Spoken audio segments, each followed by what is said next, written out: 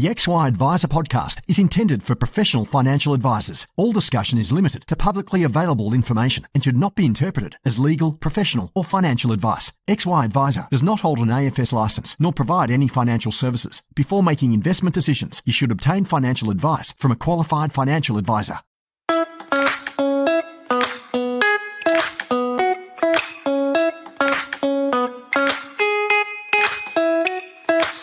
Ben Nash here. I'm a co founder at XY Adviser and founder of financial advice business Pivot Wealth my business baby I started from scratch a bit over six years ago. In that time, I've leveraged some of the learnings of the XY community to scale the business and become one of the better known financial advice businesses for high income accumulators. You can join me each Tuesday as I have the privilege of interviewing some amazing people where I'll selfishly be able to uh, continue my personal journey to improve every aspect of my advice process and hopefully you can learn a few things on the journey as well. Jump over to xyadviser.com if you haven't signed up already to share and learn from other advisors or simply download the app. This series is brought to you by Hub24, one of Australia's leading providers of integrated platform, technology, and data solutions to the wealth industry. By working with licensees and advisors, Hub24 is delivering innovative solutions and service excellence that enables you to do business your way creating efficiencies for your business and value for your clients. These are just some of the reasons why advisors have rated Hub24 number one for value for money and best managed portfolio functionality six years running, empowering better financial futures together. Find out more at hub24.com.au. Hey guys, Ben Nash from the XY Adviser team, and today I'm here with Troy Theobald. Troy is a founder and head of financial services at RFS Advice. Uh, he's won pretty much all the awards that you can win, but uh, been regularly listed in the Barron's Top 50 Advisor, Financial Standards, Power 50, uh, IFA Excellence Awards, Investment Advisor of the Year, uh, and a bunch of stuff. He's been in the industry for uh, you know for a fair while. I'll let him tell the story on that side, but uh, keen to learn from some of those lessons and uh, yeah, some of his, his tips on how to create the amazing business that he's done through RFS. Troy, thanks for joining us, mate. Thank you, Ben, and thank you for being nice on the time in the industry there. well, as I said, I'll, I'll, let you tell the story, but I know that you've got you got a deep experience there, which um, yeah, obviously it's been a journey in your business. So maybe that's a good place to start, and no doubt you're going to tell it in better words than me. But can you tell us about your your journey into advice and how you've ended up where you are today? Yeah, probably. I mean, staff now have selected it as a profession, which is fantastic. But back in the dear old 90s when I came through and did an accounting degree, and as did a number of the directors on our license, uh, had a similar path. We, we uh, went to university, did an accounting degree, started in accounting, worked out they expected you to be sitting in a chair at 6 a.m. till 7 p.m. and you weren't going to be near a client for about 10 or 15 years. Somewhere along that journey, you think this isn't for me. And, and luckily, the firm I was at uh, on the southern and the Gold Coast, they had a planner who'd come back from Merrill Lynch in Japan and um, did this thing called financial planning. And uh, and I was the offsider at the time, and myself and, uh, and one of the fellow co-directors, Brad Wall, met at the very first thing back at Advisor Investment Services days in the 90s. And the two two advisors we were with, the two of the largest at the time, and we were the young punks that they thought were there to uh, probably serve them lunch. And um, I think that's back when we were like, oh no, we're, we're paraplanners, as in you know sub professionals. So that's that that's as far back as it started, and that journey then came through working with an accounting firm, building uh, building that business there, and then um, opportunity came up with a much larger accounting firm. There was a BRW top 100 accounting firm that assured me they didn't have enough high net worth clients to have an advisor. So I offered even to do tax returns, and within the first two weeks, I was that busy with planning and never looked back. So, so that that ran well for a decade. They shared the uh, shared the office, took care of that, but it was a a bit of a lonely journey. And employee number one still here with me today, and and you were a jack of all trades, doing everything back then, and you, you do get tired and you get concerned about burnout. You meet some right people along the way, and uh, that's where I actually had met with Paul Forbes, who was GM of Professional Investment Services at that time, to um, to come over and buy the other half of the business and, and take that burden off and just allow. I like seeing clients. I like managing the portfolios. Uh, I'm not overly excited as Ben has seen me with tech today. There's lots of things that I know I'm really bad at, so I love to outsource those. Uh, so having that relationship's worked really well. We've gone from strength to strength there, and just really tried to build out that offering along the way. Absolutely, and we are just chatting a bit before we fired up the recording, and your the space that you play in is that that sort of pre and post retiree space, and talking about your your team structure. You've got things set up in a way that allows you to deliver a, an award winning service, but do it across large numbers of clients in a really effective way. Mentioned that you personally the sort of frontline advisor for around 300 clients, as well as you know heavily involved in the running of your license, plus all of the you know media content team. Um, things that you're doing and you know jumping in from time to time on some of the other advisors meetings how do you structure things to to be able to work at that that level of, of, volume, but do it in a way where you're maintaining the quality that you want to be delivering for your clients? Yeah, so a couple of components. I mean, you've got to be systemized to do it. So we have we, we empower the, the key sort of call it middle management or high management now to control and build the system with the team. And we used to laugh, it's RFS version 10, version 20, version. So if we get to a point, now we've got 20, 21 odd staff now when Paul joined, we had three. So we've had to change approaches, and you get to pressure points. And when we do get to those, we just literally jump in the room and go, where are the pressure points? And Paul will do that regularly, probably on a six month basis. And, and things that worked for a team of five might work for 10 and might work for 20. I, I wish there was an off the shelf solution in financial services. I haven't seen one yet. Love someone to build one. I'll gladly take it. But um, mm. we've had to adjust it along the way. So we've we've built that team approach now. It looks a lot like accounting firm where you can have the primary advisor or the senior partner as such.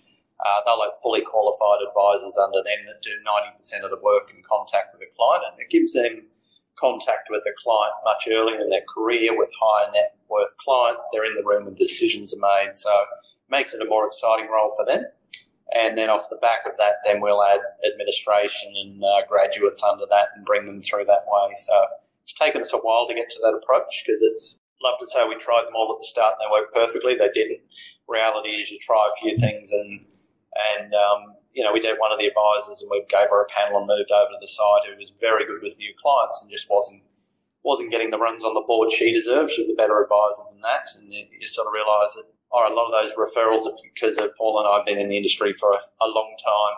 Um, around town, people go, I'll oh, go see Troy, go see Paul, go see the team. So it's realising, all right, maybe I do need to step back into that role of the meet and greet and then introduce the team and the quality and and then come into their meetings as and when needed as well.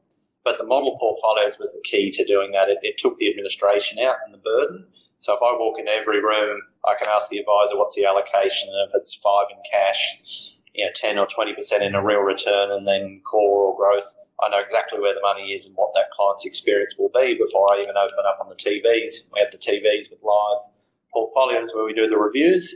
Um, mm. So you're not getting surprises, and I think that's the key. That you know, the day of the old wrap and master trust and a client having legacy products, you just need to move away from that and move forward. Mm. Yeah, I think that you've got to have that consistency uh, as, or you, you, know, you've got to find a way that you do know all of those things. And if you don't have consistency, then it makes it a, a, a lot harder to get there. So, what does it actually physically look like? The team that that's underneath you, and how is it structured? Uh, you mentioned that you've got you know a couple of other ARs that are supporting you with supporting your clients, and then there's admin team. But is it? And maybe I'm asking this question selfishly, though I might be able to get a couple of tips for our team, but. Um, yeah. Is it a dedicated admin that's linked to a, an advisor, or is it like an admin team that's spread across multiple? What does the resourcing look like around that? Yeah, we tried a few approaches that it was more shared when we were probably up to 10 or 12 staff. And then myself and Darko, the other partner we brought in, so he does wealth accumulators. So he, he did win risk advisor of the year and all those things, which for me is fantastic because I can go, I've got an expert on tap, he's going to take mm. care of this. If it's a client of mine, I'll literally walk out of the room and go have a coffee and leave him with it because he's his, his and his team do that all day, every day. So we've made sure we've got more specialties. We've got a team that just do aged care and and Centrelink Advice, same thing. I'll bring that team in, do the handover out the door. Um, we don't all need to be doing the same thing, but when the teams do that role and do it every day, they get better at it, they get more efficient. So, uh, and the other thing we did is we have a standalone review team that they control the review process. So, uh, like a platinum client might be every six months, they'll control, they'll call the meetings, the documents, everything, ensure it's done, uh, making sure we're meeting all FDS and all those obligations. And my team aren't sitting there personally doing that. So I can mm. literally walk back, grab a pack, you know, 20 seconds before a client walks in. I know exactly what it'll be. We turn the TVs on, we log into the portfolio. It's the same experience for me every meeting, and it's repeatable, and we know where it is. And then I can bring one of the other team in from my team. You know, they, are in their 20s. They can sit in front of a client with seven to ten million dollars then, and and really participate in the meeting and, and be seen as the go-to for for a lot of them. Like those sort of style of clients generally a lot further down in your career. I know I had to wait a long time. Um, how, how, do you bring that forward? And it's it's it's really having that team approach, and you, you, pick up good tips. Like you know, one of my, my good mates, Rob McGregor from GPS Wealth, there, you know, it was about six seven years ago. Troy, one day you're not going to want to kick the goals. You're going to be so excited when your team kicks them, and you'll be able to clap all like the coach sideline. Like, mate, that would never happen to me. Oh, mate, now I clap. I'd rather kick on the ball, pass. Here you go, go, and you see the joy yeah. on their face. Probably the you know you do change as your career goes through. Um, yeah. But yeah, from that perspective, adopting that team approach, and and that's certainly what's coming out of the US. That's what came out of some of those Barron's when mm. you talk to. I mean, they're insane. They manage billions of dollars with three or four people. I don't know how you do that because compliance mm. in Australia is heavy. Um, ideal client, you know, my team are probably that one to six, seven mil, and the and seven, ten mil and above is they probably get a bit more hands-on service um, in there. Those sub that mil, that 500 to mil, we have a team tooled up to do that. Um, got a female advisor, fantastic, in her 30s there, taking care of those clients. That's really her sweet spot. And then those that have some aged care entitlements, we do have a designated aged care division. They will do clients that are needing part aged care and part income uh, support there because they're uh, they're tooled up to do that. We have some of the uh, the people in there, and that's probably been our busiest team because we're we're adding to that. That's that's probably more our give back. And it's definitely not the most profitable division in uh, in financial services. So people looking mm-hmm. somewhere to go sees all this aged care. I'll give you the tip. It's not it because it is. You're dealing with families. You're dealing with dynamics. It's very stressful. It's got to be done quickly, and mm. the actually charges not a significant amount um, based on what's going on. But for our clients that we've now built to a level, it's probably our retiree clients are using it for their parents and they always laugh when they're in their 60s and 70s. It's like, no, their age gap is probably 20 years to their mum or dad. So they're dealing with their own retirement, dealing with their parents going into that. So we mm. sort of had the service we needed to provide. And yeah, it, it does add another string to the bow. Totally, yeah. It's crazy complicated that stuff, and that's just from a technical perspective, let alone the personal dynamics and the things that you know that go, go around those those decisions. It's also the sort of thing, in my experience, that you only really get one bite of the cherry with as well. It's like you're going to structure things in a way, and then you know it's going to happen. There's no going back from there. So it's like you've got to get it right uh, at the start, and from the nature of you know where people are at at that stage, it's typically, again, in my experience, I found it challenging for people to accept a fee that's commercial, given all of those those inputs um, that are there. Probably helpful if they've got their kids uh, as clients that understand and, and, know you guys already that um, might be able to help or or help guide that process. But um, yeah, I think it's the sort of thing that you want to have a strong muscle before you start dabbling in there. Uh, otherwise, that can lead to, lead to trouble. Troy, yeah, from our perspective, that's really where we found that you needed to have a specialty, and and that that's probably the evolution from a, a generalist to running all of a practice to picking the areas you enjoy doing, specialising, and then allowing your team to specialise, and that's probably the evolution we've been on and still on. Yeah, it sounds like it. It sounds like obviously a lot of changes over the, the time that you've been in business to get from the point where you're you know, one advisor, they're seeing the clients, doing all the work yourself to the way that you've got things structured now, teams, teams of teams, the specialists in different areas. What have, what's been the most challenging part of that evolution for you? There's certainly lots, and they pop up when you're not expecting them. I suppose it uh, can be anything from administration platforms suddenly having issues from nowhere to, to that. It's it's that constant unexpected, I suppose, that just keeps rearing its head and, and having the ability to get back up. So I think I think having the right team of people around, like we we moved to a license and a co-op there. We've got Hugh from Centaur, uh, we've got Everlesco guys and Jeff and Marshall and um, uh, Guide Financial up the Sunshine Coast. So having a good team around you, I think, has been the key. It's can be lonely out there otherwise in Vice Land. We came out of professional investment services where we had a really, you know, through the 2000s to probably 28, 9, 10, you know, you had big conferences, you had a network, you had a community, and that all sort of fell away when when markets sort of had issues and dealer groups broke up and then banks moved out of industry and it sort of fragmented everyone. So I think, you know, that's where the likes of GPS have popped up and some of those groups to give people a sense of community. We, we went out, we had a, a desire to reduce costs for client, reduce margin and, and everything, which was our mm. passion to build. And, and to do that, we needed to be self-licensed then. We needed to work with, uh, then Praemium worked with us to, to get agreements with product providers and pass it back to the client. And then size and scale now, I think we've got nearly on a billion dollars between the, the offices in our model management approach, and that just gave us more size and scale to reduce that to clients. And now the evolution of that is well, now how do we actually take that out even further, even to the marketplace or external advisors to use and have it documented going, this is what we've built, it's taken a long time. And as we can get bigger as a group, uh, we can get more discounts, we can pass those to clients and and here's the process. So that evolution's ongoing, and that's probably hmm. taking a lot of focus at the moment. Um, how to do that, and yeah, we've had to change structures and all sorts of things along the way, and and yeah, I think that ability to just have the right people around to, to get you through. Because if I look back to 2006, 7, 8, you know, I was the classic advisor there. What would I have been there?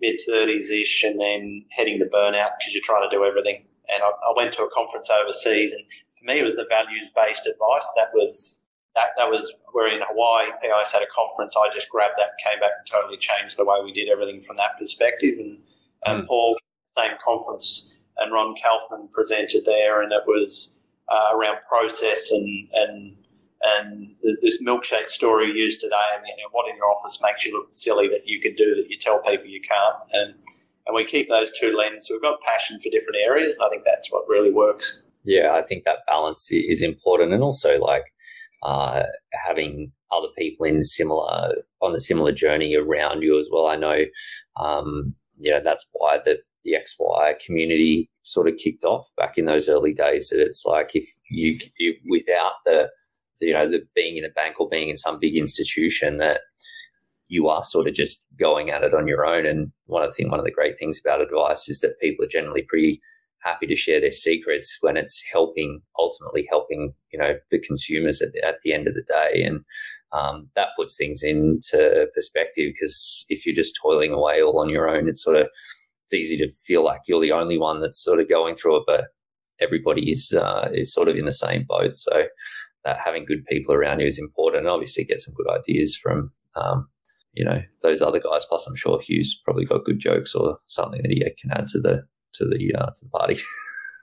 yeah, and that's what it is. And that you look at those, and that like he, I, I it was around that mid two thousands in there is when Hugh and I sort of became mates, and, and at the time I'd won a couple of the awards, and I was speaking all over the place, and that was really when I was getting tired, and you get someone to give you that that sort of pep along, which is good. And like he's taken up the mm. mantle out, running around talking at lots of different events. You know, Paul's done that for a long time. So in our firm, Paul will go and do that. It's not that I don't not engaged by the time I'm running the team doing the models. I've now kicked off a, a, monthly radio show that's taking a bit of time for retirees. It's just uh, FM talk back there. It's just the give back. So everyone's finding their different ways to do it. I, I do stuff mm. through the girls' school, president of the fathers club and things there. So I found my avenues for give back there. Um, mm. you know, it's it's just as pe- different people pick up the mantle from time to time to help out other advisors. But yeah, you do find everyone's pretty open and sharing. I don't I don't find ours as an industry or a profession that people aren't. It's just probably time poorness is what stops a lot of it.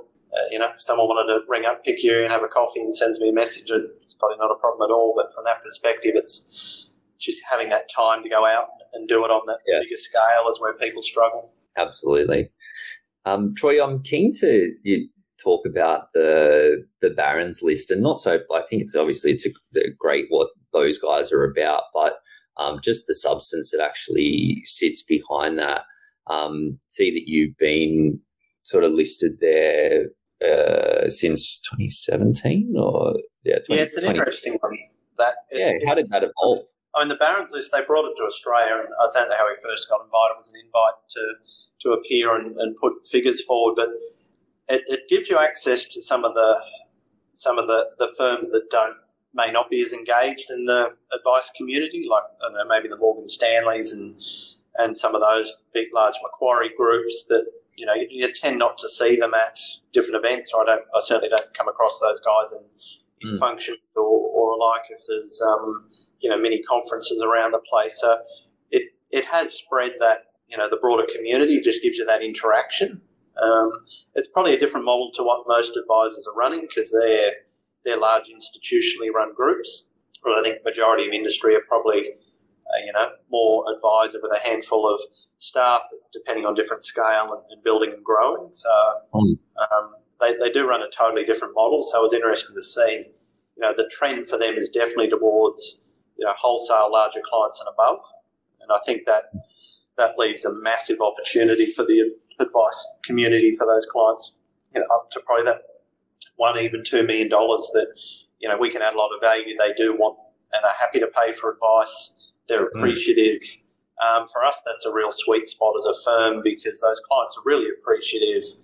Uh, if you can keep them on track, keep them updated, uh, show them a strategy, let them know what's going on, um, I find that works really well. Some of the you know, the high net worth clients, they come with high needs, higher time commitments as well, which mm. is hard to have a number of those. Uh, and they tend yes. to be distracted because they've got so many other opportunities and things they're exploring. Hmm. Um, mm.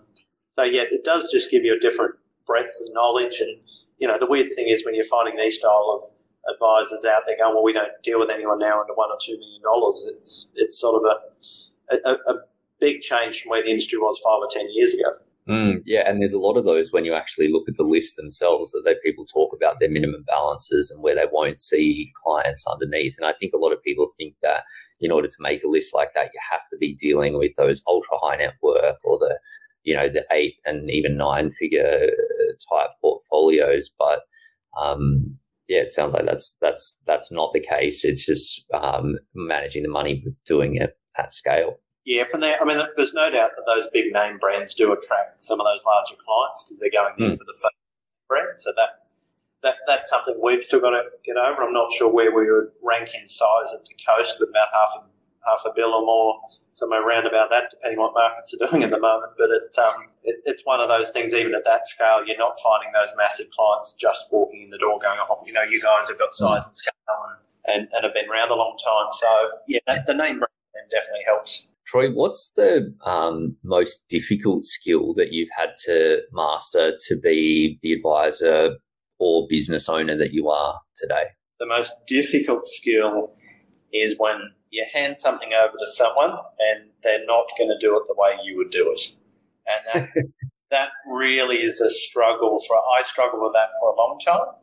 If someone's doing it 80 or 90% in my little world of how good it could be, um, you got to get past those issues, and then then you do find them running with it. And as they get more confident, they're probably doing a better job than you would do anyway. But in those initial stages, that was really hard to hand over control of different areas and outcomes to people. Once you get to a size and scale of momentum, you're forced to it. So you, you sort of lean in as opposed to mm. leaning out. And, and yeah, once I've got to that and embrace it now, it's fantastic. Like I walk into a meeting now, oh, so if I don't have to be involved in that, that's fantastic. Whereas, you know, even five, six years ago, I'd be still trying to have an opinion. It's like, no, no, just, you got this. I look forward to result. I don't, I don't need to be here, do I? So it's, yeah, it's just, but that's the evolution. It's just having the right people around you as well. Any tips on how to, like, uh, make it easier to do that? Or it sounds like it perhaps it's just grow to the point where you physically can't do it yourself? I think it's just accepting and recognizing it. We won't put ourselves through this NCAD program around biases and things, and you know, it's a bit of a look in the mirror, and it's like, yeah, you should be dog headed, like things your own way, and all those things. It's like, yeah, okay, but I'm but I'm still probably, I don't know, I don't sit still, so I'm I'm still in the door here by half past seven and five thirty to six, I'm wandering out. So I, I don't find it a chore coming to work. I don't. I like things to be done when I go home. I used to take work home. I don't now. I will not work home. So when I go home, I'm home. That was one mm. one good tip I picked up somewhere. That probably there was a, a reasonable period of time I wasn't as present as I should have been in my own house. You're sitting at a conference and someone stands on stage. Is your family getting the best or the worst of you? And you went, oh crap, you got me. Yeah, I'm running in the eating dinner, chucking the headphones on and playing on the computer, and you know this is an exciting build. But when you got kids and everything there, they just want dad to be around, and your wife wants you to be around. So um, they're little things you learn along the way. Hopefully, you, you learn learn and, and improve, but it's it's still a still a process. So for me, that's why the you know the radio community get backing on the coast, or the you know, being the fathers club get back at the school, so that I can be a bit more present now that I'm in a position I can. Whereas you know, mm. kids were born, I was probably in the office. Well, I know I was in the office the next day. You're having that conversation with wife, we know what pays the bills, and this client needs this done, and, and mm. as a as a couple, you, you just have to do what you need to do as businesses grow. Thankfully, you're not quite as time strapped for those situations.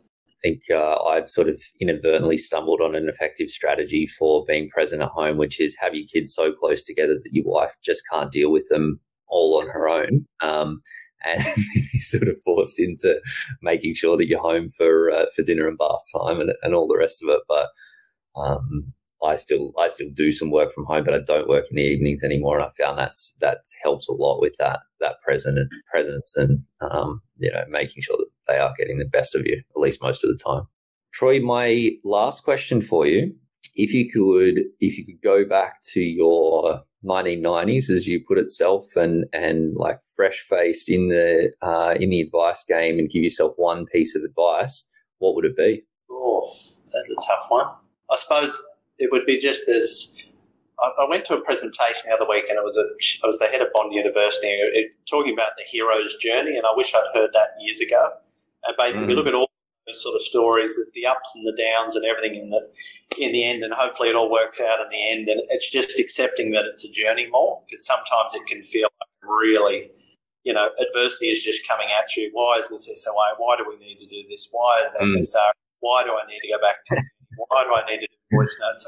like, oh my God, I just want to help these people in front of me. Why can't I help them? Because I have to give them 80 pages and a big bill.